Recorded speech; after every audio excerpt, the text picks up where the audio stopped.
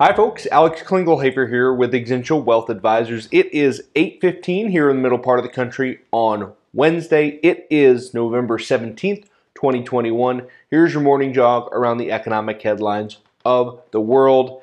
We're gonna talk earnings this morning and what better place to start off than my wife's favorite retailer, Target. Target with some actually really good earnings yesterday earning more than a billion more dollars than uh, consensus estimates on the revenue side. Income also up you know 20 or, or 25 cents a share above estimate. Stock down a little bit uh, here in the pre-market this morning. Really talking about supply chain pressures on a go-forward basis, right? Products being a little bit more expensive as we head into the holiday shopping season. Overall, it looks like not a tremendous impact. They're still going to have plenty of shelves stocked for the holiday season. Earnings continue to be good. Stocks continue to do well. As a whole, echoing that sentiment, Lowe's, big earnings beat, upward forecasts, consumers doing more projects around the house.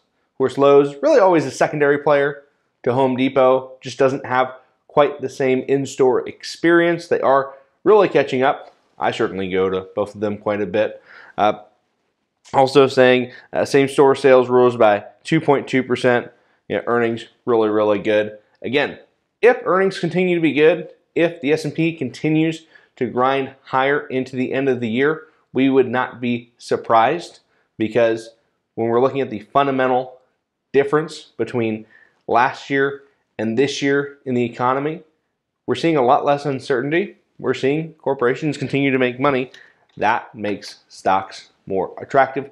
Last but not least, before we get you off to a nice Wednesday, Crypto.com buying naming rights to the Staples Center. Looks like it's going to be a $700 million a year uh, deal. I believe it's for 20 years. Uh, that's going to be $35 million a year.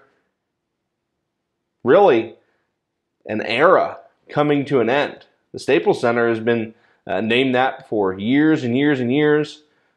Big box retailers are out. Crypto platforms are in. At least on a go forward basis, we'll see if 20 years from now that looks like an anachronistic name. If you want some additional information throughout the week, feel free to follow me. As always, I'm on Twitter. It's OKC CFA CFP. Until then, I do hope you have a very nice Wednesday. I'm out.